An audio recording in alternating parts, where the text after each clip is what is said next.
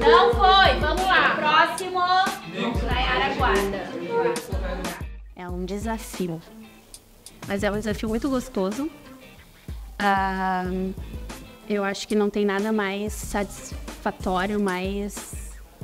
ah, que me faça mais feliz do que ver os meus alunos aprendendo. Embora, apesar das dificuldades da, da geração, né, dos percalços, que vocês conseguem ser bem rebeldes às vezes, né, e da tecnologia que às vezes vem além de aliar, né, vem para atrapalhar um pouco.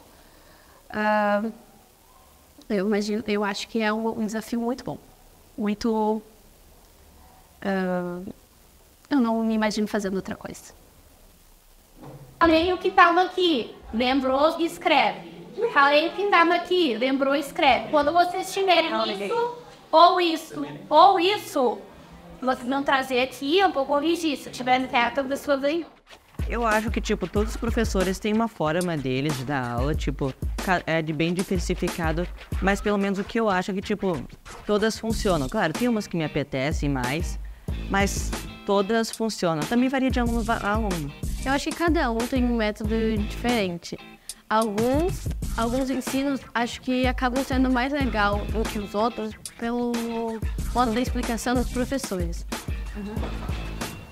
Aqui, Manuela. Aqui, ó. Que é laranja no meu, deve ser ve- azul no de vocês, tá? Aí puxa uma setinha. Isso, puxa uma setinha e coloca esse nome aqui.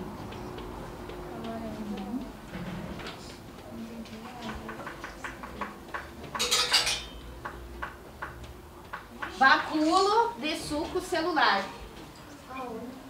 Nessa organela que vocês pintaram de azul. Acho que inglês chega a ser uma das minhas matérias favoritas, porque ele não é tão complicado. Tipo, talvez a- uma palavra às vezes acaba indicando mais de uma. Acho que dá pra entender. One. O número mais fácil. Get. Get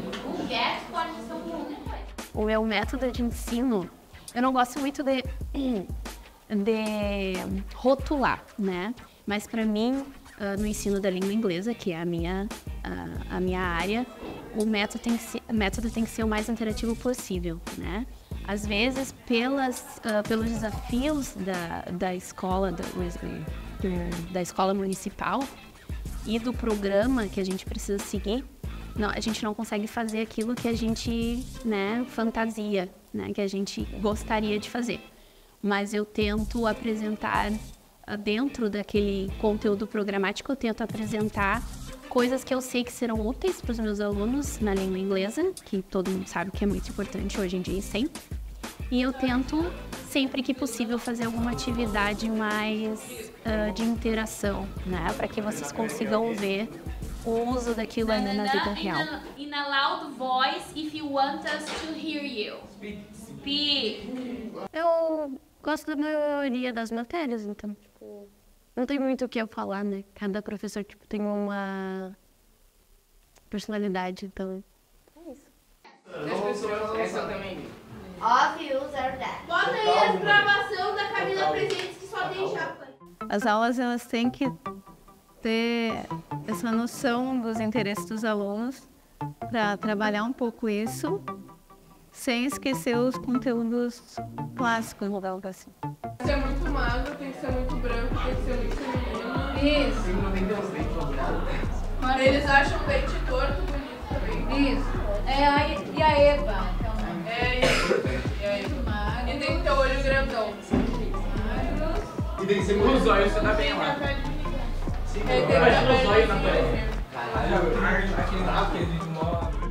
Trabalhar com a problematização, com perguntas, com imagens, é, produção prática criativa, tá?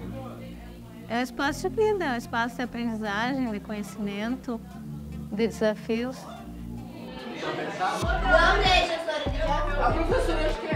Poderiam ser trabalhados mais métodos contemporâneos, só que o- a estrutura da escola ela ainda, ainda é mesa, então ela não está atendendo para outros métodos tão diferenciados, entende? Eu acho que hum, uh, estruturalmente tem coisinha para mudar, e isso o próprio Carlos já está fazendo. Mas agora ensino dos professores, que é o foco dessa entrevista, eu acho que está funcionando bem. Não precisa alterar alguma coisa, modernizar. Tem uns professores que têm um estilo bastante moderno, na minha opinião.